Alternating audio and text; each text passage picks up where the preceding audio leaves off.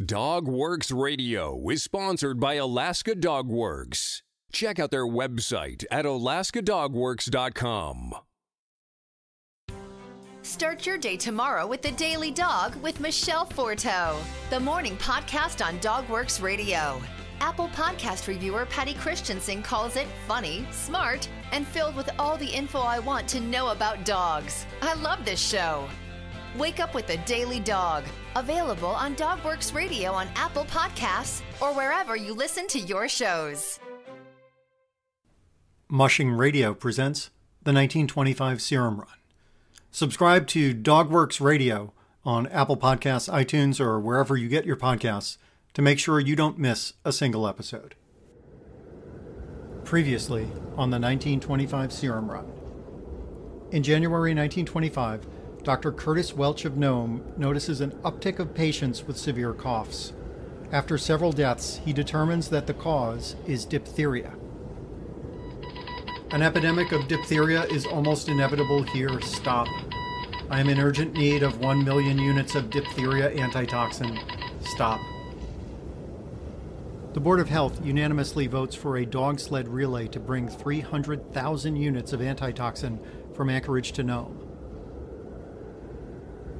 In Anchorage, a carefully wrapped 20 pound package of antitoxin is put on a northbound train where it meets the first dog sled team outside Fairbanks.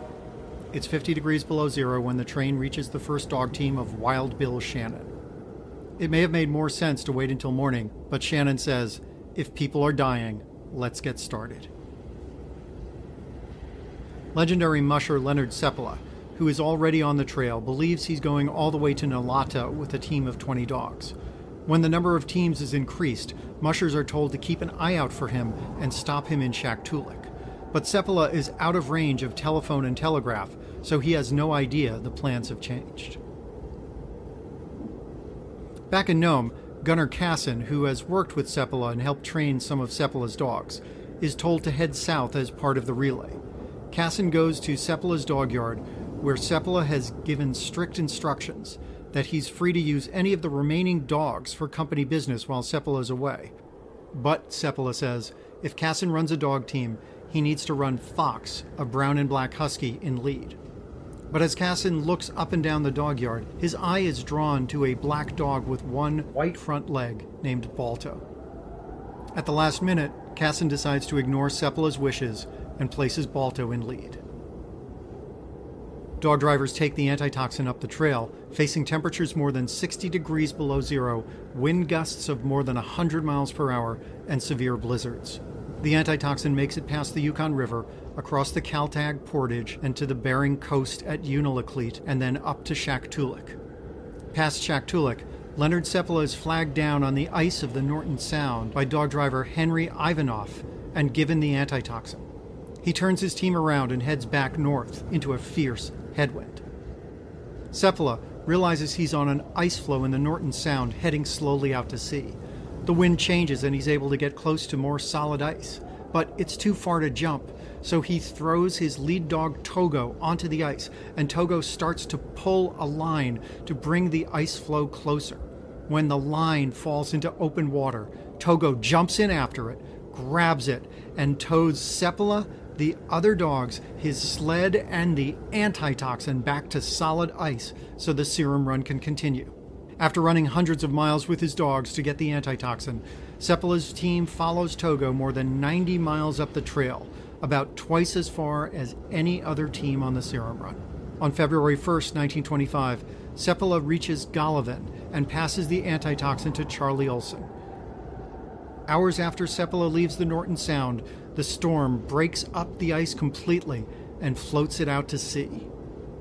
Olson and his team go 25 miles to Bluff, where Gunnar Kaasen is waiting. The plan is for Kaasen to take the antitoxin about 30 miles to safety, where Ed Rohn is waiting. But with a blizzard raging, Welch recommends stopping the relay so as not to risk the antitoxin not getting to Nome at all. Nome Mayor Maynard sends out word to various roadhouses, including Safety and Solomon, Olson and Kaasen never learn about the ordered pause in the relay. Kaasen heads into the storm and quickly encounters difficulty with huge snowdrifts. but Balto proves himself a good leader and finds the trail. This week, Gunnar Kaasen and Balto make history. As the storm rages, Kaasen's team quickly finds itself in whiteout conditions. The team runs on the frozen Topkok River, but Balto suddenly stops, and Kaasen sees there is a stretch of open water overflow on the ice. He takes a different route and turns off the river and continues. Balto leads the team over a series of narrow ridges near Topkok Mountain, a 600 foot summit.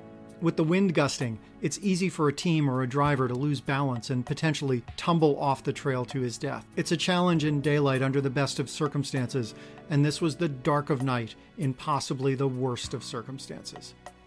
The dogs crawl forward slowly, one step at a time. Kaasen later said, Topkok is hell when it's storming, and it was storming plenty when he got there. With the dogs struggling for every foot they'd move forward, Kaasen gets off the sled and helps push it up, trusting his dogs will keep him on the trail. At the summit, Kaasen jumps back onto the runners as the dogs race down Mount Topkok. This is an area that is infamous to this day for its winds, and many mushers have been caught in wind tunnels that knock them off their sleds. The geography of the area, under the right conditions, creates a series of odd microclimates where it's perfectly calm one moment and then there are hurricane force winds the next. Balto leads the team around a curve in the beach, and in the poor conditions, Kaasen can barely see his wheel dogs. At one point, Kaasen realizes he's passed the Solomon Roadhouse without seeing it. The plan was for him to stop there briefly before continuing to safety. Had Kaasen stopped in Solomon, he would have received word that the serum run was supposed to pause and wait out the storm. But instead, he keeps going, figuring he's only about 10 miles from safety and can rest there once he turns over the antitoxin to Ed Rohn. Shortly thereafter, Kaasen hits a blowhole and an 80 mile per hour wind gust flips his sled and knocks him down. A second blast buries him in a snowdrift, Although Kaasen is very tired, it's not clear he could have done anything to prevent the sled from tipping over, even if he'd been completely fresh. He rights his sled, sets the hook, and goes about the task of untangling his dog team. This takes longer than he wants, and he has to take off his gloves several times to get the dogs and gang lines in the right position. When they're finally ready to go, Kaasen goes back to the runners and double checks his sled bag for the antitoxin. It's not there. He gets off the sled and searches every inch of the bag. The antitoxin is gone. A frantic search of the area near the sled doesn't reveal the box containing the antitoxin either. Kaasen cries out in frustration and drops to his knees. He looks over the area between where the sled overturned and where it stopped and methodically begins to search. But he can't locate the box. He starts crawling around in the snow, ignoring the cold, ignoring the frostbite on his cheeks. He even takes off his gloves, hoping his bare hands can give him hints based on the consistency of the snow. He's not sure what else to do. He has to find it. The bitter cold nips at Kaasen's fingers, but he keeps searching. Eventually, his right hand smacks into the box. He frantically digs it up and puts it back on his sled, carefully tying it down with rope. He pulls the hook and is going. His hands are now badly frostbitten from searching around in the snow, but he doesn't care. Within a few minutes, the trail curves. Suddenly, the wind that had played Kaasen since he left Bluff is at his back, propelling him and his team forward. The dogs keep running, enjoying the boost in their speed. Balto, in particular, is thrilled to be leading the way home towards Nome. As Kaasen approaches safety, his team is running better than they had since they left Bluff. At safety, Ed Rohn is asleep believing the relay has been paused and the message has gotten to Kaasen somehow. He doesn't expect Kaasen to arrive overnight, thinking Kaasen will get to Solomon. He'll hold there until the weather clears. And even if Kaasen does push on to safety, Rohn figures, he won't arrive until at least 6 in the morning. But thanks to 10 miles assisted by tailwinds, Kaasen is flying. He gets into safety around 3 a.m on February 2nd, sets the hook, tends to his dogs, and takes the antitoxin inside to warm it up and see how Rohn is doing. Rohn is still fast asleep and doesn't wake up when Kaasen arrives and comes inside. What Kaasen does next remains controversial to this day. Although he is exhausted and his dogs are tired, Kaasen decides to continue on to Nome himself. He later says it would have taken longer for Rohn to get up and get his dogs ready, even though Rohn's dogs were rested and fresh. Some have argued over the years that Kaasen wanted the glory of being the one who brought the antitoxin into Nome himself, and Kaasen would definitely cash in on this fact for decades after. After a short rest, Kaasen decides to complete the relay himself. The trail from safety to Nome runs mostly along the beach, and by the time Kaasen is back on his sled, the wind has died down. But Kaasen and Balto are still facing a trail that has heavy snowdrifts, in part because of the blizzard that passed through. As many Iditarod mushers have learned, even though it might feel like you're basically a Nome when you reach safety, it's a mistake to take those last 22 miles for granted. Although the uneven trail slows down the team, Balto is able to lead them through, and Kaasen is grateful he can at least see the trail ahead. Several hours later, Kaasen recognizes the landmarks around Nome and finally the cross of a local church. Around 5:30 a.m. on February 2nd, Kaasen and Balto pull up in front of the Merchants and Miners Bank on Front Street in Nome. There is no one there to greet him. No one even knew he was coming. A few locals hear the noise and go outside to see what's happening. They see Kaasen walking among his dog team, petting and praising them, and when he gets to Balto at the front, Kaasen says, Damn fine dog, before he collapses with exhaustion. Ed Rohn is still asleep in safety and has no idea the antitoxin arrived. There is famous footage of Kaasen's dog team led by Balto mushing down Front Street before a small but enthusiastic crowd. You may have seen this and thought it was wonderful that the end of the serum run was captured on film. But as with much of this story, the truth is a bit stranger. There were camera crews in Nome waiting for the end of the serum run, but they were all asleep when Kaasen and Balto arrived. 21st century reality shows aren't the only ones who believe it's okay to stage reenactments to portray some kind of greater truth. And the journalists of 1925 had no problem fudging the details to tell a good story. So later that afternoon, Kaasen and his team come down Front Street once again, this time for the cameras.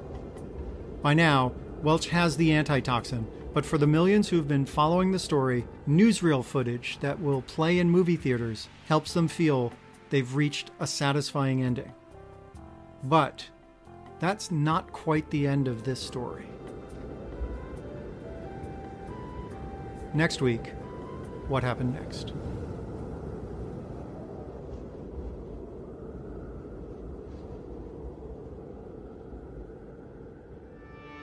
Did you know that Alaska Dog Works trains service dogs for those in need throughout North America? Each and every service dog that is trained through the Lead Dog Service Dog Program and Michelle Forto and her team has an individual training plan. We train for autistic, mobility, psychiatric, and PTSD for our soldiers for service work. If you know of someone that may need a service dog, please take a moment and check out Alaska Dog Works on social media and at alaskadogworks.com. Hi, guys, it's Alex. If you're a fan of sled dog sports in the Iditarod, Mushing Radio is the show for you. Each Wednesday, we drop a new episode on Dogworks Radio. So be sure to subscribe on Apple Podcasts or wherever you get your podcasts from. If you like our podcast, there are a few things you can do.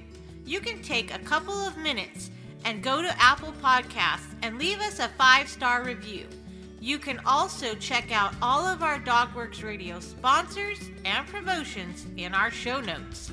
Another thing you can do is go over to Facebook, like our Facebook page, and one last thing, please tell all of your friends by spreading the word about Dogworks Radio.